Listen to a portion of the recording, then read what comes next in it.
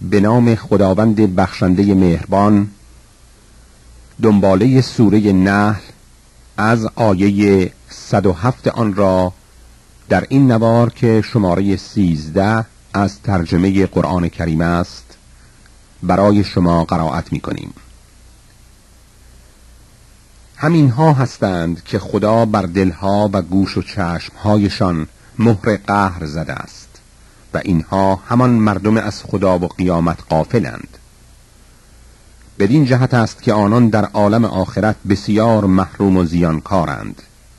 آنگاه محققا بدان که خدا با مؤمنانی که از شهر و دیار خود چون به شر و فتنه کفار مبتلا شدند و ناگزیر هجرت کردند و در راه دین کوشش و صبر بسیار نمودند خدا با آن مؤمنان یار و یاور است و از این پس بر آنها بسیار غفور و مهربان خواهد بود و به آنان عزت و قدرت عطا خواهد کرد.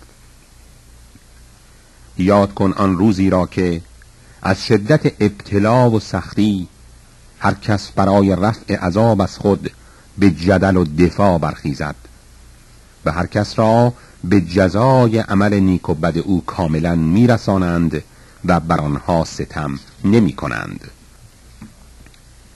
و خدا بر شما حکایت کرد و مثل آورد تا گوش کرده و عبرت گیرید. مثل شهری را چون شهر مکه که در آن امنیت کامل حکم فرما بود و اهلش در آسایش و اطمینان زندگی می کردند. و از هر جانب روزی فراوان به آنها می رسید. تا آنکه اهل آن شهر نعمت خدا را کفران کردند. خدا هم به موجب آن کفران و معصیت طعم گرسنگی و بیمناکی را به آنها چشانید. و رسولی از خود آنها بر آنها آمد. وجود آن نعمت بزرگ را کفران نمودند و او را تکذیب کردند. و چون ظلم کردند عذاب بر آنها فرا رسید.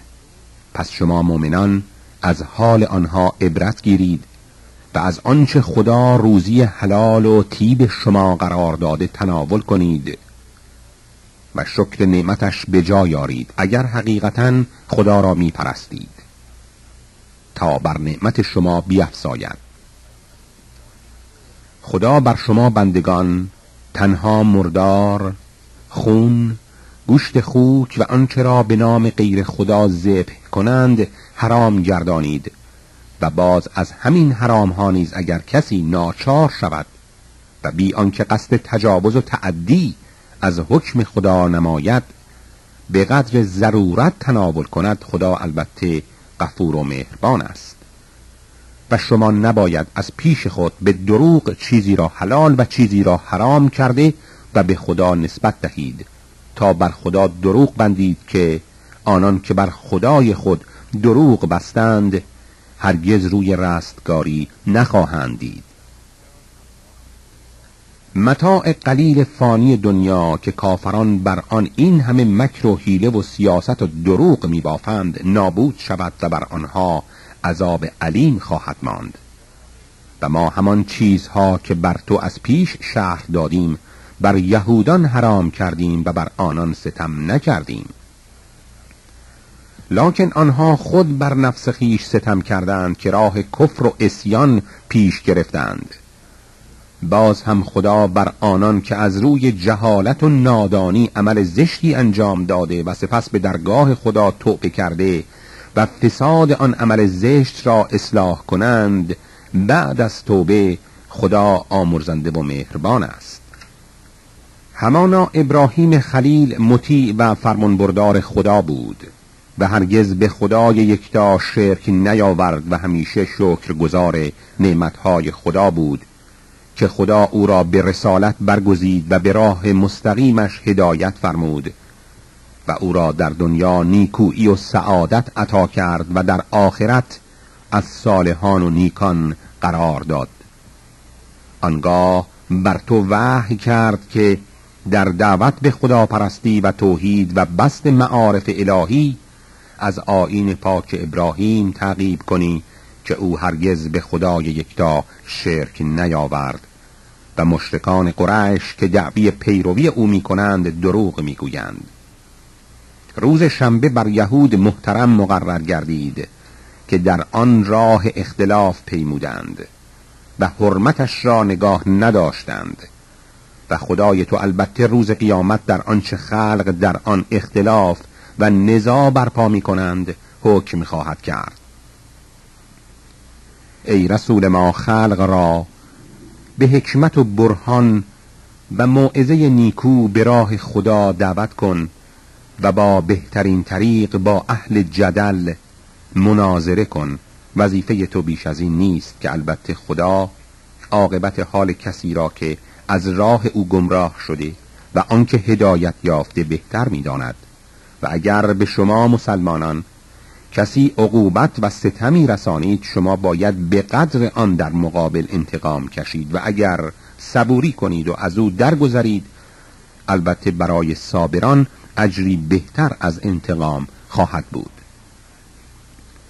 و تو ای رسول برای رضای خدا بر رنج تربیت امت صبر و تحمل پیشه کن و بر آنها که ترک کفر و اناد نمی کنند غمگین مشو و از مکر و حیله آنان دلتنگ مباش. همانا خدا یار و یاور متقیان و نیکوکاران عالم است. در اینجا سوره نهر که شامل 128 آیه بود به پایان رسید. می‌رسیم به سوره اسرا که در مکه معظمه نازل و مشتمل بر 111 آیه می باشد. به نام خدای بخشنده مهربان.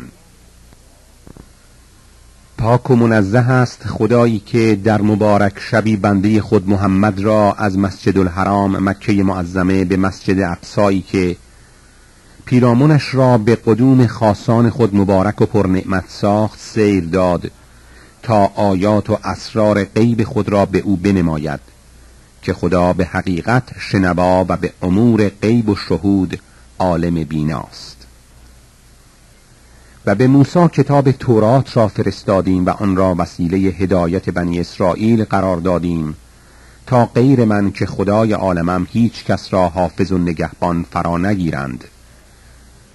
ای فرزندان کسانی که به کشتی نوحشان بردیم و از هلاک نجاتشان دادیم به خاطر آن بود که نوح بسیار بنده شکر گذاری بود. شما هم مانند او شاکر باشید.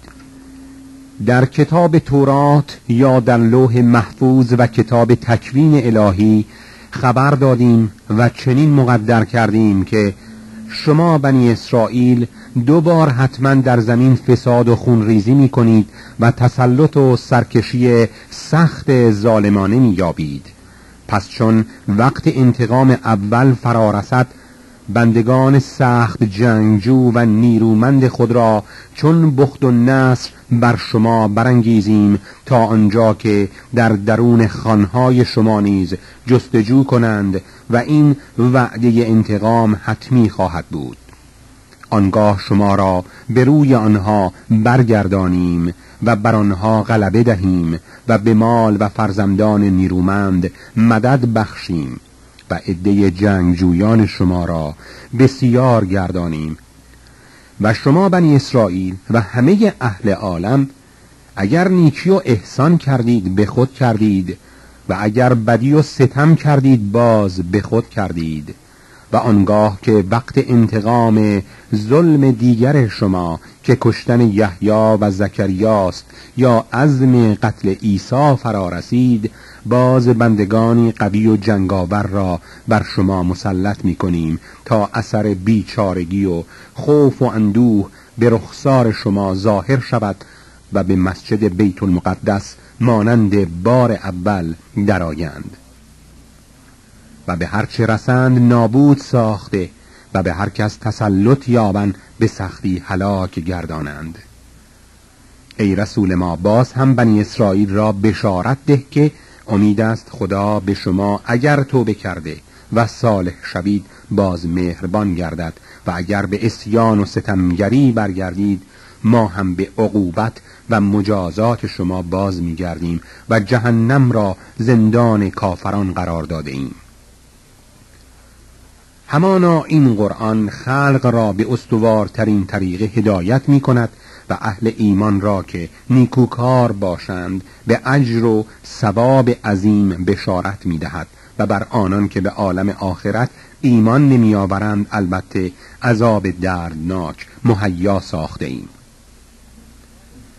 انسان با شوق و رغبتی که خیر و منفعت خود را می جوید چه بسا به نادانی با همان شوق و رغبت شر و زیان خود را می طلبد و انسان بسیار بی صبر و شتاب کار است. و ما شب و روز را دو آیت و نشانی قدرت خود قرار دادیم. آنگاه از آیت شب و روشنی ماه آن کاستیم و خورشید و آیت روز را همیشه درخشان ساختیم. تا شما در روز روزی حلال از فضل خدا طلب کنید و تا آنکه شما حساب اوقات را بدانید و ما برای پند و اصلاح بندگان هر چیزی را مفصل بیان کردیم. و ما مقدرات و نتیجه اعمال نیک و بد هر انسانی را توق گردن او ساختیم.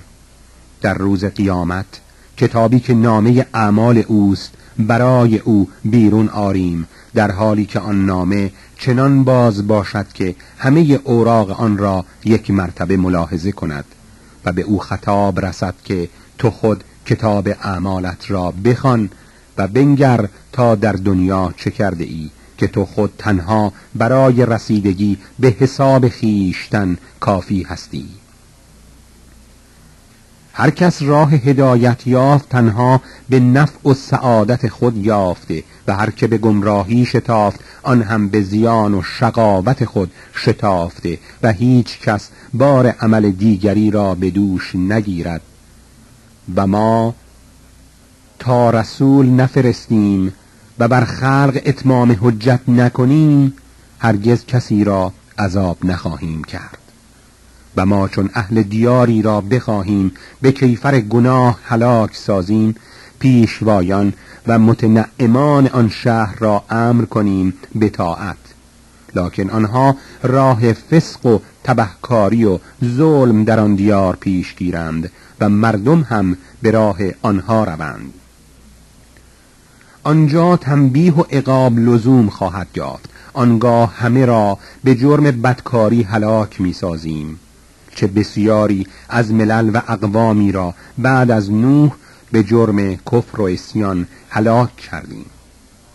و تنها خدای تو که بر گناهان بندگانش آگاه و باخبر است کفایت می کند که به مسلحت هر کرا خواهد عف و هر کرا خواهد عقاب کند. هر کس به سعی و کوشش خود متاع عاجل و لذات فانی دنیا را طالب است. ما متاع دنیا را به او می دهیم. لکن باز به هر که خواهیم و هر که مشیت ازلی ما باشد.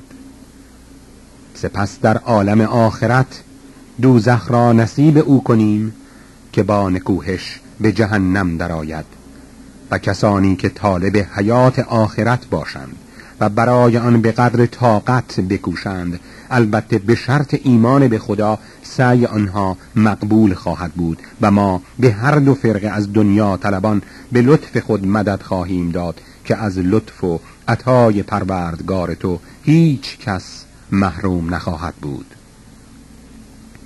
ای رسول ما بنگر تا ما چگونه در دنیا بعضی مردم را بر بعضی فضیلت و برتری بخشیدیم تا بدانی که مراتب آخرت نیز بسیار بیش از درجات دنیاست و برتری خلایق بر یکدیگر به مراتب افزون از حد تصور مردم است.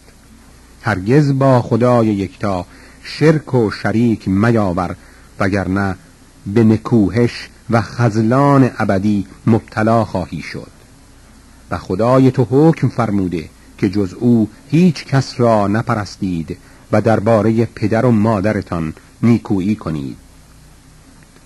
چنان که هر دو یا یکی از آنها پیر و سال خورده شوند که موجب رنج و زحمت شما باشند زنهار کلمه ای که رنجید خاطر شوند مگویید و کمترین آزار به آنها مرسانید و با ایشان به اکرام و احترام سخن گویید. و همیشه پروبال تواضع و تکریم را با کمال مهربانی نزدشان بگستران و بگو پروردگارا چنان که پدر و مادر من مرا از کودکی به مهربانی پرورش دادند تو در حق آنها رحمت و مهربانی فرما. خدای به آنچه در دلهای شماست از خود شما داناتر است. اگر همانا در دل اندیشه صلاح دارید خدا هر که را با نیت پاک به درگاه او تضرع و توبه کند البته خواهد بخشید. ای رسول ما تو خود و امتت حقوق خیشاوندان و ارهام خود را ادا کن. و نیز فقیران و رهگذران بیچاره را به حق خودشان برسان و هرگز اسراف روا مدار.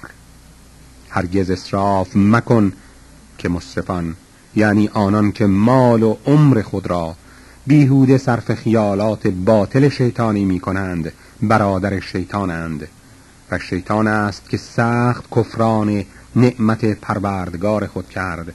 و چنانچه از ارهام به فقیران مذکور چون فعلا نادار هستی و توجه به حقوقشان نتوانی کرد باز به گفتار خیش و زبان شیرین آنها را از خود دلشاد کن.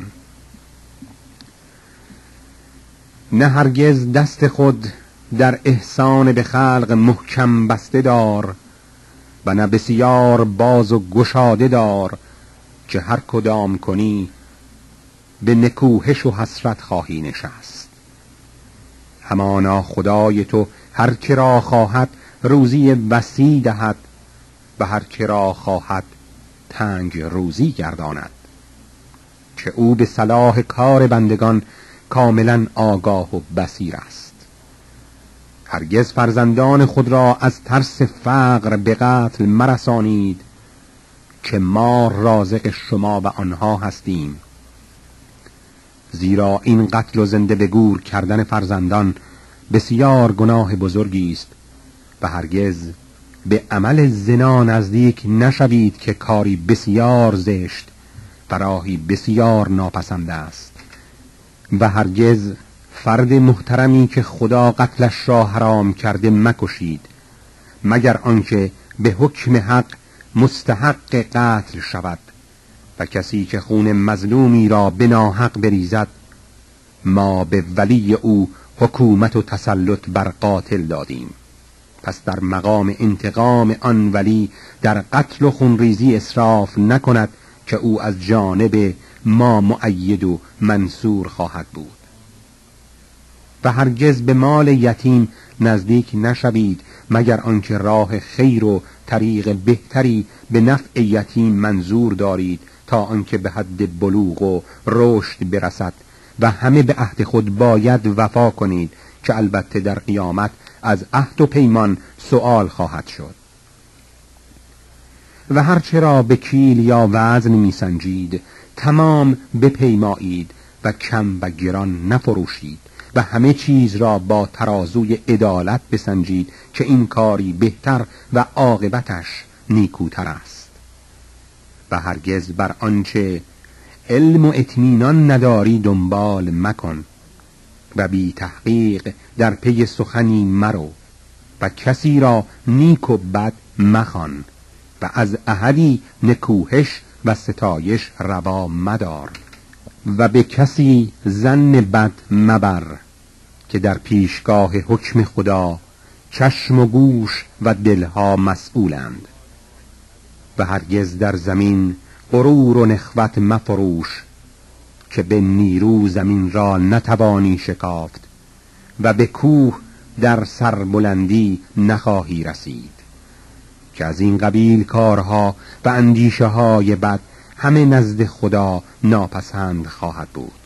این است آنچه از حکمت به وحی پروردگارت به تو می‌رسد و هرگز با خدای یکتا کسی را به خدایی مپرست.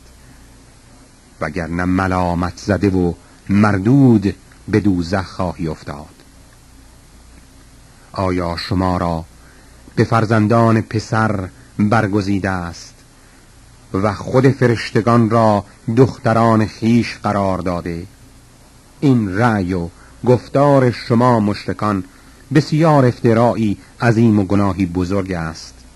و با این قرآن را به انواع سخنان فسیح و بلیغ و نیکو بیان کردیم تا خلق متذکر شوند و از این پند گیرند. لکن بدان را به جز نفرت و شقاوت حاصلی نیفزود.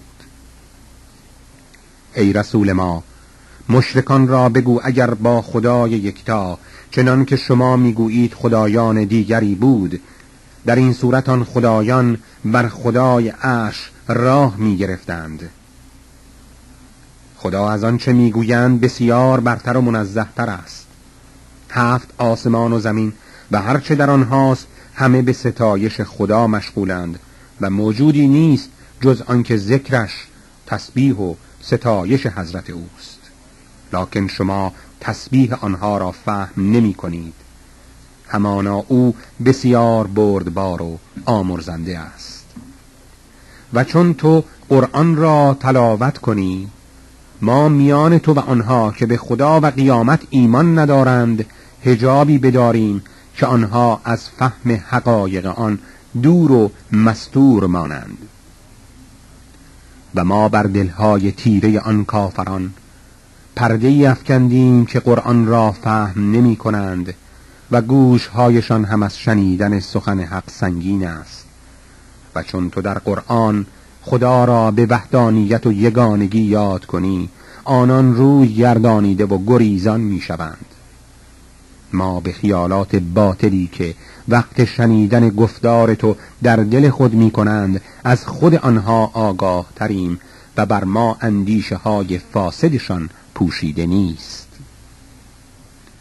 که آن مردم ستمکار به مردم گویند که شما جز شخصی مفتون سحر و ساهری را پیشوای خود نکرده اید بنگر تا چه نسبتها از جهل به تو می‌دهند که از گمراهی خود هیچ راه خلاصی نمییابند.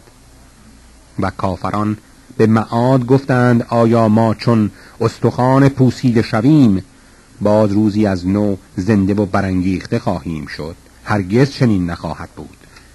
ای رسول ما بگو به منکران معاد که شما سنگ باشید یا آهن یا خلقتی سختتر از سنگ و آهن باز زنده می شوید پس اگر گویند که ما را زنده می کند بگو همان خدایی که هم اول بار شما را آفرید. آنگاه آنها به این دلیل قاطع نزد تو سر به زیر افکنده و بازگویند پس این وعده کی خواهد بود.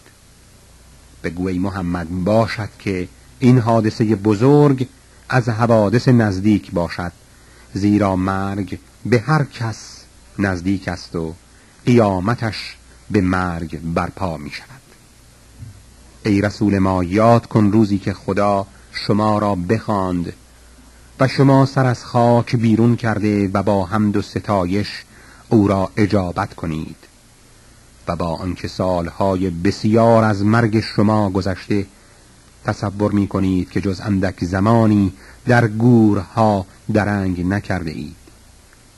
و ای محمد بندگانم را بگو که همیشه سخن بهتر را در مقام تکلم بر زمان آرند که شیطان چه بسیار میان شما دشمنی و فساد برمیانگیزد. زیرا دشمنی او با آدمیان واضح و آشکار است. خدا اصلاح حال شما را بهتر از شما می‌داند و بد و نیکتان را بهتر می‌شناسد. اگر بخواهد و صلاح بداند به شما لطف و مهربانی کند و اگر بخواهد و مسلحت باشد مجازات و عذاب فرماید و ما تو را ای محمد وکیل و نگهبان بندگان قرار ندادیم و خدای تو به آنچه در آسمان ها و زمین است داناتر است. و همانا بعضی از انبیا را بر بعضی دیگر برتری داده و به داوود زبور را عطا کردیم. ای رسول ما مشرکان را بگو از این بتها آن را که بجز خدا مؤثر میپندارید در هوایج خود بخوانید تا ببینید که نه دفع ضرری تواند کرد و نه تغییر حالی برای شما ایجاد خواهد کرد. آنهایی را که کافران به خدایی می‌خوانند آنان خود به درگاه خدا وسیله تقرب میجویند و هر که مقربتر است بیشتر امیدوار به رحمت و ترسان از عذاب اوست که البته از عذاب خدا باید سخت حراسان بود. هیچ شهر و دیاری در روی زمین نیست جز آنکه پیش از ظهور قیامت اهل آن شهر را یا هلاک کرده یا به عذاب سخت معذب می کنیم این حکم در کتاب علم ازلی مستور است. در دنباله سوره الاسرا چنین می‌خوانیم. ما را از فرستادن آیات و معجزات جز تکذیب پیشینیان چیزی مانع نبود. و به سمود آیت ناقه را که همه مشاهده کردند بدادیم. درباره آن ظلم کردند. آیات را جز برای آنکه مردم از خدا بترسند و هدایت شوند نمیفرستیم. ای رسول ما به یادار وقتی را که به تو گفتیم. خدا البته به همه افعال و افکار مردم محیط است و ما رویایی که به تو ارائه دادیم نبود جز برای آزمایش و امتحان مردم. و درختی که به لعن در قرآن یاد شد. ما به ذکر این آیات عظیم آنها را از خدا می ترسانیم لکن بر آنها جز تقیان و کفر و انکار شدید چیزی نیفزاید. و یادار وقتی را که فرشتگان را امر به سجده آدم کردم پس همه سجده کردند جز شیطان که گفت آیا من سر طاعت به آدمی که از خاک آفریدی فرو دارم؟ آنگاه با من بگو آیا این آدم خاکی را بر من فضیلت و برتری دادی؟ ای خدا اگر عجل مرا تا قیامت به تأخیر افکنی بجز قلیلی همه اولاد آدم را مهار کرده و به دار هلاک میکشانم. و خدا در اینجا به شیطان گفت برو که هر کس از اولاد آدم پیروی تو کرد با تو به دوزخ که پاداش کامل شماست کیفر خواهد شد. برو و با جمله لشکرت که سوار و پیاده اند بر آنها احاطه کن و در اموال و اولاد هم با ایشان شریک شو و به بعده های دروغ آنها را بفریب و مغرور ساز آری. بعده شیطان چیزی جز غرور و فریب نخواهد بود. همانا تو را بر بندگان من تسلط نیست و تنها محافظت و نگهبانی خدا آنها را کافی است.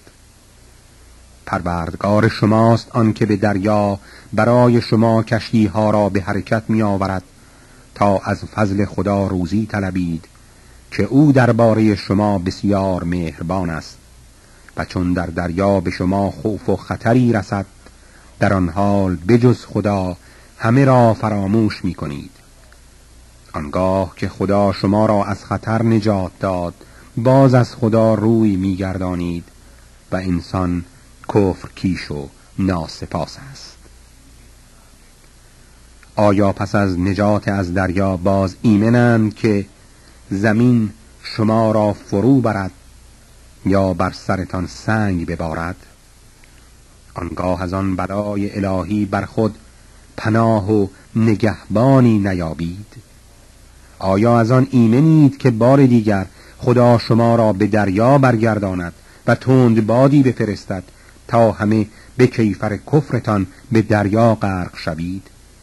آنگاه کسی را از قهر ما دادخواه و فریاد رس نیابید. و ما فرزندان آدم را بسیار گرامی داشتیم و آنها را به مرکب بر و بحر سوار کردیم. و از هر غذای لذیذ و پاکیزه آنها را روزی دادیم و بر بسیاری از مخلوقات خود برتری و فضیلت بزرگ بخشیدیم.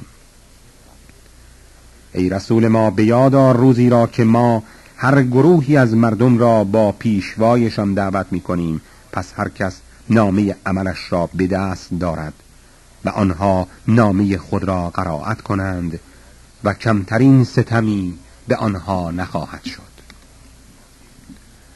هر کس در این جهان دنیا نابیناست در عالم آخرت نیز نابینا و گمراه تر خواهد بود. ای رسول ما کافران نزدیک بود که تو را فریب داده و از آنچه به تو وحی کردیم که به بتان هیچ اعتنا مکن آفل شوی. و چیز دیگر بر ما فرابندی تا مشرکان تو را دوست خود گیرند. و اگر ما تو را به وحی خود ثابت قدم نمیگردانیدیم نزدیک بود که به آن مشرکان اندک تمایل و اعتمادی پیدا کنی و در آن صورت که به بت پرستان اندک توجه می کردی به تو جزای این عمل را می چشاندیم و عذاب تو را در حیات دنیا و در آخرت مضاعف می گردانیدیم و آنگاه از قهر و خشم ما بر خود هیچ یاوری نمی یافتی. دنباله سوره اسرارا در پشت همین نوار خواهید شنید. به امید پروردگار بزرگ. به نام خداوند بخشنده مهربان. دنباله سوره اسرا از آیه هفتاد و پنج آن به این شهر برای شما قرائت می شود نزدیک بود که کافران تو را در سرزمین خود سبک کرده و از آنجا به مکر یا به قهر بیرون کنند. در این صورت پس از اندک زمانی بیش زیست نمی کردند که به عذاب ما همه هلاک می شدند ما آین همه پیغمبرانی که پیش از تو فرستادیم نیز همین توحید و خداپرستی و هلاک کافران و نجات اهل ایمان قرار دادیم و این طریقه ما را تغییر پذیر نخواهی یافت. نماز را وقت زوال آفتاب تا اول تاریکی شب به یادار و نماز صبح را نیز بجایار که آن به حقیقت مشهود نزد فرشتگان شب و فرشتگان روز است. و بعضی از شبها بیدار و متحجد باش و نماز شب خاص توست. به جای آور باشد که خدایت به مقام شفاعت مبعوث گرداند.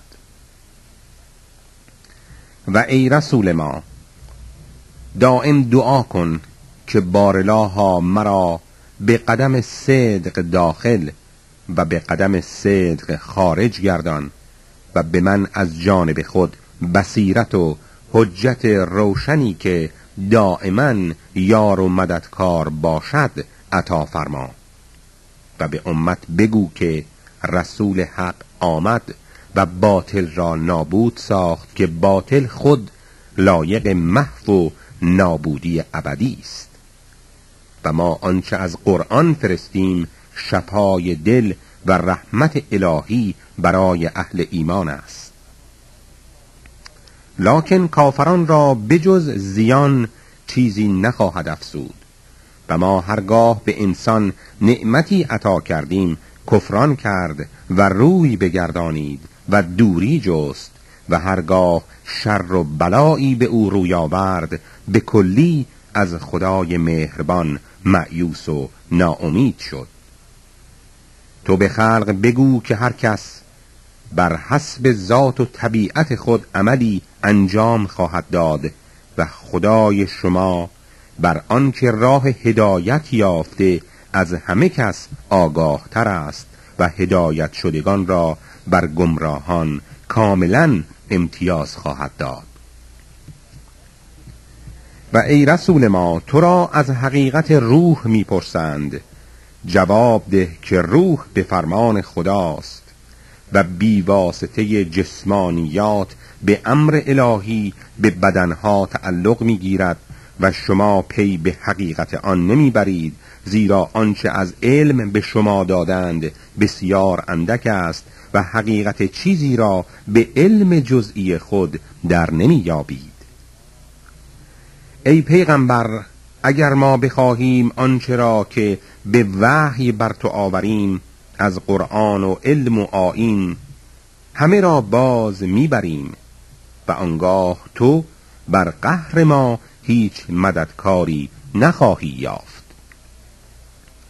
مگر آنکه رحمت و لطف پروردگار از تو مدد کند که فضل و رحمت او بر تو بسیار است. بگو ای پیغمبر که اگر جن و انس متفق شوند که مانند این قرآن کتابی بیاورند هرگز نتوانند هرچند همه پشتیبان یکدیگر باشند. و همانا ما در این قرآن برای مردم هر گونه مثال و بیان روشن آورده ایم تا مگر هدایت شوند. لکن اکثر مردم بجز از کفر و اناد از هر چیز امتناع کرده اند در دنباله سوره اسرا چنین می‌خوانیم. و گفتند ما هرگز به تو ایمان نخواهیم آورد تا آنکه از زمین برای ما به اعجاز چشمه آبی بیرون آری. یا آنکه تو را باقی از خرما و انگور باشد که در میان آن باغ نهرهای آب جاری گردد. یا آنکه بنابر وعده تو آسمان بر سر ما فرو افتد یا آنکه خدا را با فرشتگانش در مقابل ما حاضر کنی تا ما آنها را به چشم خود ببینیم. یا آنکه خانه از زر و کاخی زرنگار دارا باشی یا آنکه بر آسمان بالا روی و باز هم هرگز ایمان به آسمان رفتنت نیاوریم تا آنکه بر ما کتابی نازل کنی که آن را قرائت کنیم. و از آن یقین به رسالت تو بر ما حاصل شود. تو در پاسخ این تقاضای جاهلانه آنان بگو خدا منزه است از آن که من او یا فرشتگان او را حاضر سازم. آیا من فرد بشری بیشترم که از جانب خدا به رسالت آمده ام؟ مردم را چیزی از هدایت و ایمان باز نداشت. وقتی قرآن آمد جز این خیال باطل که گفتند آیا خدا بشری را هرگز به رسالت فرستاده است؟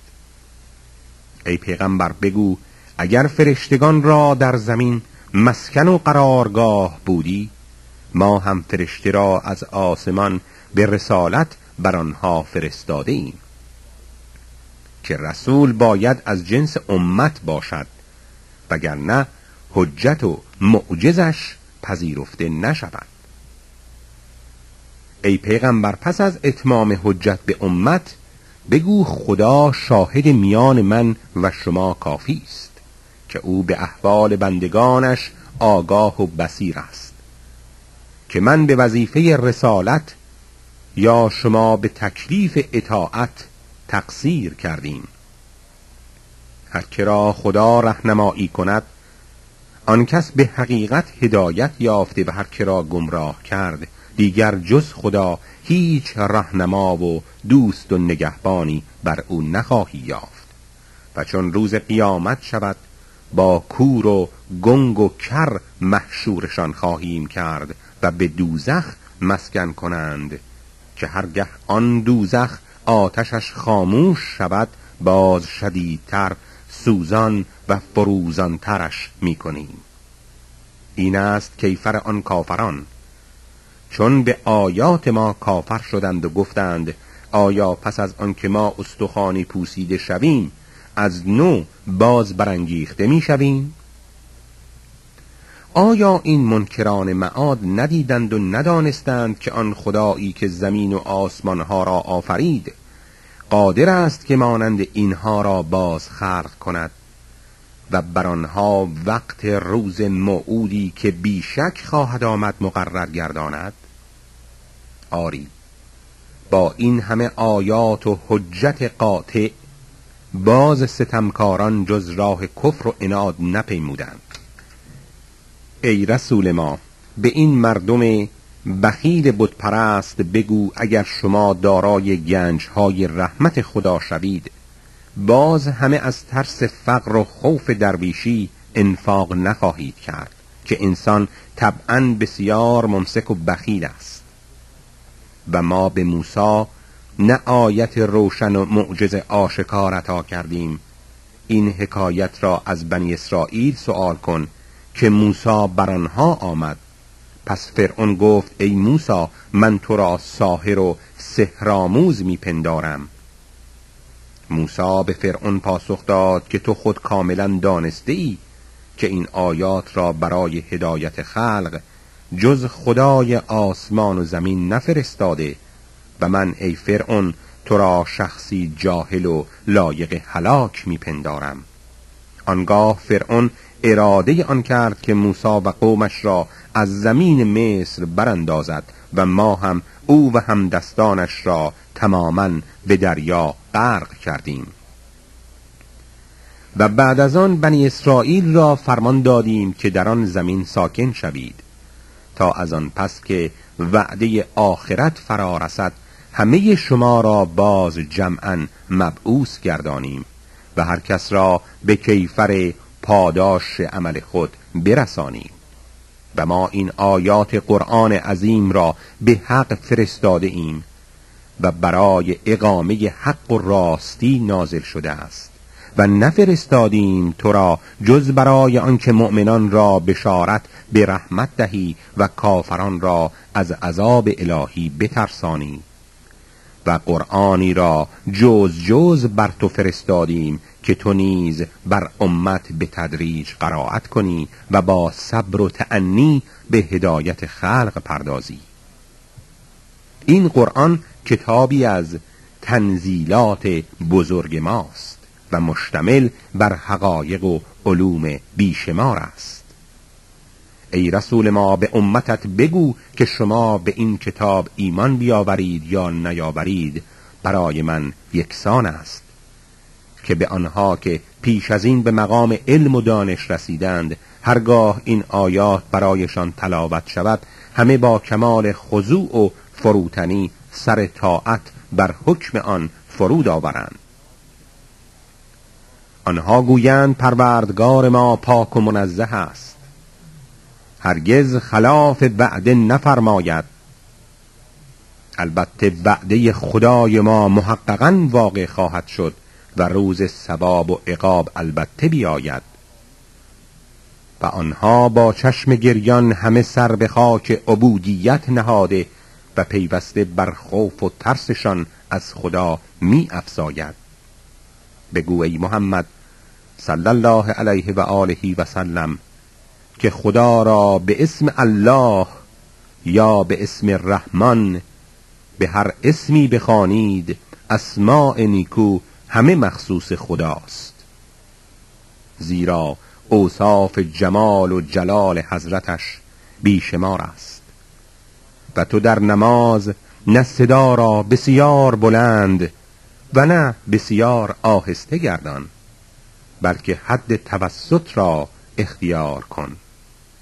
بگو ستایش مخصوص خداست که نه هرگز فرزندی و نه شریکی در ملکش برگرفته و نه عزت و اقتدار او را نقصی رسد که به دوست و مددکاری نیازمند شود و پیوسته ذات الهی را به بزرگترین اوصاف کمال ستایش کن. در اینجا سوره اسرا که شامل 111 آیه بود به پایان رسید. می‌رسیم به سوره کهف که در مکه معظمه نازل شده و مشتمل بر 110 آیه می باشد به نام خداوند بخشنده مهربان. ستایش و سپاس مخصوص خداست که بر بنده خاص خود محمد صلی الله علیه و آله و سلم این کتاب بزرگ قرآن را نازل کرد و در کمال صورت و معنای آن هیچ نقص و اوجی ننهاد تا به این کتاب بزرگ خلق را از عذاب سخت خدا بترساند و اهل ایمان را که اعمال آنها نیکوست به اجر بسیار نیکو در عالم آخرت بشارت دهد که در آن سرمنزل پر نعمت بهشتی زندگانی ابدی خواهند داشت و بترسان از عذاب آنان را که گفتند خدا فرزندی برای خود برگرفته است. یعنی مردمی را که عیسی یا عزیز یا فرشتگان را فرزندان خدا گویند. از قهر خدای یکتا آنها را بترسان که آنها به این سخن جاهلانه باطل قائلند نه خود نه پدرانشان از روی علم و دانش سخن نمی‌گویند. این کلمه کذب و افتراع بزرگی است که از دهانشان خارج می شود و جز دروغ چیزی نیست. ای رسول نزدیک است که تو اگر امت به قرآن ایمان نیاورند جان عزیزت را از شدت حزن و تأسف بر آنان هلاک سازی. تو بعد از انجام رسالت ابدا از کفر و اسیان امت غمگین مباش که جزای هر کس با ماست.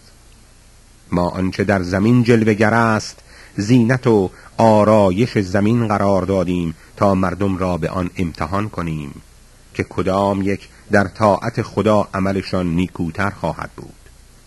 و ما آنچه را زیور زمین گردانیدیم باز همه را به دست ویرانی و فنا می دهیم ای رسول ما تو پنداری که قصه اصحاب کهف در مقابل این همه آیات قدرت و عجایب حکمتهای ما واقعی عجیبی است. آنگاه که آن جوانان از بیم دشمن در قار کوهی پنهان شدند از درگاه خدا مسئلت کردند که بارلاها تو در حق ما به لطف خاص خود رحمتی عطا فرما. و بر ما وسیله رشد و هدایت کامل مهیا ساز. پس ما در آن غار از خواب بر گوش و هوش آنها تا چند سالی پرده بیهوشی زدیم. پس از آن خواب آنان را برانگیختیم تا معلوم گردانیم کدام یک از آن دو گروه مدت درنگ در آن غار را بهتر احساس خواهند کرد. ما قصه آنان را بر تو به درستی حکایت خواهیم کرد. آنها جوان مردانی بودند که به خدای خود ایمان آوردند و ما به لطف خاص خود بر مقام ایمان و هدایتشان بیفزودیم.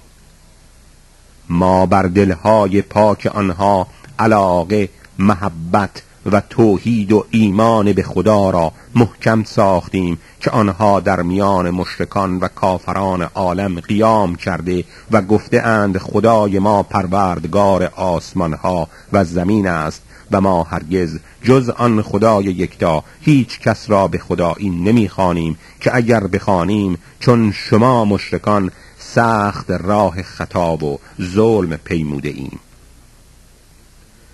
اینان قوم ما هستند که خدایانی غیر خدای یگانه برگرفتند در صورتی که هیچ دلیلی روشن بر خدایی آنها ندارند چه ظلمی بالاتر از این افترا و دروغی است که بر خدا میبندند. و آنگاه اصحاب کهف با یکدیگر گفتند که شما چون از این مشرکان و خدایان باطلشان دوری جستید برای آنکه از شر و بیداد اینان ایمن باشید باید به قار کوهی گریخته و پنهان شوید تا خدا از رحمت خود در همان قار تنگ به شما گشایش و توسعه بخشد و اسباب کار شما را با روزی حلال و آسایش مهیا سازد. آنگاه به قار کوه رفته و به خواب شدند. و گردش آفتاب را چنان مشاهده می کنی که هنگام طلوع از سمت راست قار آنها بر کنار و هنگام غروب نیز از جانب چپ ایشان به دور می گردید و آنها کاملا از حرارت خورشید در آسایش بودند. هر کس را خدا رهنمایی کند او به حقیقت هدایت یافته و هر که را گمراه گرداند دیگر هرگز برای چنین کسی هیچ یاور و رهنمایی نخواهد. و آنها را بیدار پنداشتی و حالان که در خواب بودند. و ما برای رفع خستگی آنان را به پهلوی راست و چپ میگردانیدیم و سگ آنها دو دست بر در آن غار گسترده داشت و اگر کسی بر حال ایشان مطلع شدی از آنها گریختی و از هیبت و عظمت آنها بسیار حراسان میگردید. باز ما آنان را از خواب برانگیختیم و زمان خوابشان بر خود آنها مشتبه و نامعلوم بود. تا میان خودشان صحبت و بحث از مقدار زمان خواب پیش آمد. یکی پرسید چند مدت در قار درنگ کردید. جواب داد یک روز تمام یا که برخی از روز دیگر. باز در شک و اندیشه شدند و گفتند خدا داناتر است که چند مدت در قار بوده ایم باری شما به طور پنهانی به شهر بروید و مشاهده کنید که کدام تعام پاکیزه تر و حلال تر است تا از آن روزی خود فراهم آرید. و باید با دقت و ملاحظه زود به طوری که هیچ کس شما را نشناسد و از کار شما آگاه نشود بروید و برگردید. زیرا محققا اگر بر شما آگهی و زفر یابند شما را یا سنگسار خواهند کرد یا به آین خودشان برمیگردانند و هرگز روی رستگاری نخواهید دید. و باز ما مردم را بر حال اصحاف کهف آگاه ساختیم. تا خلق بدانند که وعده خدا به حق بوده و ساعت قیامت البته به هیچ شک خواهد آمد تا مردمی که میانشان تنازع و خلاف در امر آنها بود پس با این همه بعضی گفتند باید گرد آنها حسار و بنایی بسازیم. خدا به احوال آنها آگاه تر است و آنان که بر واقع احوال آنها زفر و اطلاع یافتند گفتند البته بر ایشان مسجدی بنا کنیم. بعضی خواهند گفت که عده آن اصحاب کف سه نفر بود و چهارمین هم سگ آنها و برخی دیگر از روی خیال بافی و عیبگویی می‌گویند عده آنها پنج نفر بود و ششمین سگ آنها و برخی دیگر گویند هفت نفر بود و هشتمین سگ آنها ای رسول ما تو با مردمی که اختلافات بی نتیجه را برپا می کنند بگو خدای من به عده آنها آگاه تر از خلق است که بر عدد آنها از خلق بجز افراد قلیلی مانند انبیا و اولیا که از طرف حق به وحی دانسته اند هیچ کس آگاه نیست. پس تو با اهل کتاب در این موضوع مجادله مکن. جز آنکه هرچه به ظاهر وحی دانستی اظهار کن و دیگر هرگز فتوا از احدی در این باب مپرس. و ای رسول ما تو هرگز مگو که من این کار را فردا خواهم کرد مگر آنکه بگویی ان الله اگر خدا بخواهد و خدا را لحظه ای فراموش مکن. و به خلق بگو امید است خدای من مرا به حقایقی بهتر و علومی برتر از این قصه هدایت فرماید و آنها در کهف کو سیصد سال نه سال هم زیادتر درنگ کردند. بگو خدا به زمان اقامت آنان در کوه داناتر است که او به همه اسرار غیب آسمان ها و زمین محیط است و چقدر هم بینا و شنواست. و هیچ کس جز او نگهبان خلق نیست و آنچه از کتاب خدا بر تو وحی شد بر خلق تلاوت کن که کلمات خدا را هیچ کس تغییر نتواند داد و هرگز جز درگاه او پناهی نخواهی یافت. و همیشه خیش را با کمال شکیبایی به محبت آنان که صبح و شام خدا را می‌خوانند و رضای او را میطلبند وادار کن و یک لحظه از آن فقیران چشم مپوش که به زینتهای دنیا مایل شوی.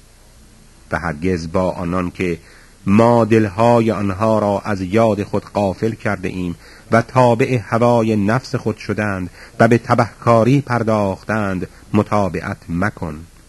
و بگو دین حق همان است که از جانب پروردگار شما آمد. پس هر که می‌خواهد ایمان آرد و هر که می‌خواهد کافر شود. ما برای کافران ستمکار آتشی مهیا ساخته ایم که شعله های آن گرد آنها احاطه کند و اگر از شدت آتش شربت آبی درخواست کنند آبی مانند مس گداخته سوزان به آنها دهند که روی ها را بسوزد و آن آب بسیار بد شربتی و آن دوزخ بسیار بد آسایشگاهی خواهد بود. آنان که به خدا ایمان آوردند و نیکوکار شدند ما هم اجر نیکوکاران را ضایع نخواهیم گذاشت. بلکه اجر عظیم بهشت های عدن که نهرها زیر درختانش جاری است خاص آنهاست. در حالی که در آن بهشت برین زیورهای زرین بیارایند و لباسهای سبز حریر پوشند و بر تختها به عزت تکیه زنند که آن بهشت نیکو اجری و خوش آرامگاهی است. ای رسول ما حکایت دو مرد مؤمن و کافر را برای امت مثل آر که ما به یکی از آنها دو باغ انگور دادیم و به نخل خرما اطرافش را پوشانیدیم و عرصه میان آنها را کشتزار مخصوص گردانیدیم. آن دو باغ کاملا میوه های خود را بی هیچ آفت و نقصان بداد و در وسط آنها جوی آبی نیز روان ساختیم. و این مرد را که در باغ میوه بسیار بود به رفیقش که مردی مؤمن و فقیر بود در مقام گفتگو و مفاخرت برآمد و گفت من از تو به دارایی بیشتر و از حیث خدم و حشم نیز محترم و عزیزترم و روزی به باغ در حالی که به نفس خود ستمکار بود چون عمر را به کفر و گناه و قفلت از خدا میگذرانید با کمال غرور داخل شد. و گفت گمان ندارم هرگز این باغ و دارایی من نابود شود و نیز گمان نمی کنم که روز قیامتی به پا شود و اگر به فرض هم خدا و قیامتی باشد و من به سوی خدای خود بازگردم البته در آن جهان نیز از این باغ دنیا منزلی بهتر خواهم یافت. رفیق با ایمان فقیر در مقام گفتگو و اندرز بدو گفت آیا به خدایی که نخست از خاک و بعد از نطفه تو را آفرید؟ آنگاه مردی کامل و آراسته خلقتت ساخت کافر شده ای اما من که پروردگارم آن خدای یکتاست. هرگز به خدای خود احدی را شریک نخواهم ساخت. ای رفیق تو چرا وقتی به باغ خود درآمدی نگفتی که همه چیز به خواست خداست و جز قدرت خدا قوه ای نیست؟ و اگر تو مرا از خود به مال و فرزند کمتر دانی به خودت مغرور مشو که امید است خدا مرا بهتر از باغ تو در آخرت و دنیا بدهد. و بر بوستان تو مرد کافرکیش شبی آتشی فرستد که چون صبح شود باغت یکسر نابود و با خاک صرف یکسان گردد. یا صبحگاهی جوی آبش به زمین فرو رود و دیگر هرگز نتوانی آب به دستاری و باغت از بی آبی خشک شود. یا آنکه ثمره و میوه هایش همه نابود شود تا صبح دمی از شدت حزن و اندوه بر آنچه در باغ خرج کردی دست بر دست زنی که بناب و اشجارش همه ویران و خشک شده است. آنگاه از کفر خود پشیمان شوی و گویی ای کاش من به خدای خود مشرک نمی شدم و به خود پرستی و غرور و معصیت نمی پرداختم و ابدا جز خدا هیچ کس نباشد که آن گنه کار کافر را از قهر و خشم خدا یاری و حمایت تواند کرد. آنجا ولایت و حکم فرمایی خاص خداست که به حق فرمان دهد و بهترین اجر و ثواب و عاقبت نیکو را هم او به هر چه خواهد عطا کند. ای رسول ما برای امت چنین زندگانی تمام دنیا را مثل زن که خلق در یک باغ و مزرعه حال دنیا به چشم می نگرند که ما آب بارانی را از آسمان نازل کرده ایم و به آن آب درختان و نباتات گوناگون زمین در هم پیچیده و خرم می روید سپس صبحگاهی همه در هم شکسته و خشک شود و به دست بادهای حوادث زیر و زبر گردد و خدا بر هر چیز در عالم اقتدار کامل دارد. سوره کهف تا آیه چهل و چهار آن در اینجا به پایان می رسد. به دنباله سوره در نوار چهاردهم توجه فرمایید. به امید پروردگار بزرگ.